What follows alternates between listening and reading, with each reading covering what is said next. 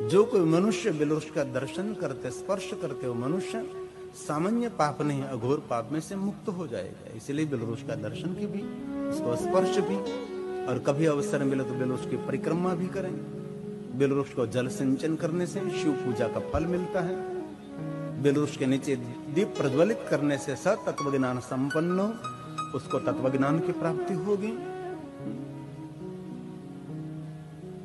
शिव महापड़ ग्रंथ में बहुत विस्तार से बिलोवृक्ष और बिलो पत्र की महिमा कही है।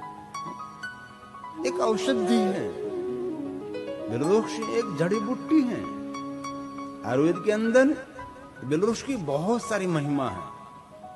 और इसलिए बिलवृक्ष की महिमा कही है कि वातावरण को पवित्र भी करते हैं, वातावरण को सुगंधी भी करते हैं।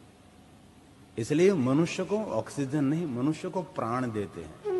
बहुत सारे वृक्ष ऐसे हैं, मनुष्य को प्राण देते हैं, जिनको हम प्राण वायु कहते हैं। ये बिलवृक्ष की महिमा है। इसलिए कहीं अवसर मिले तो ज़रूर बिलवृक्ष लगाना चाहिए, बिलवृक्ष की सेवा करनी चाहिए। और वृक्ष हमारा जीवन है। हर धरती पर जो वृक्ष नहीं रहेगा तो मनुष्य जाति धरती पर जीवित नहीं रहेगी।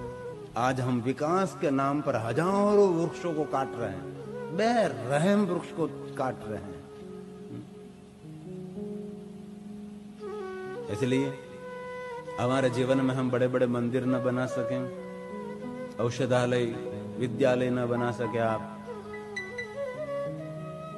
जीवन में इतना तो ज़रूर कर सकते हैं। एक वृक्ष तो ज़रूर लगा सकते हैं। इतना तो ज़रूर करें हम।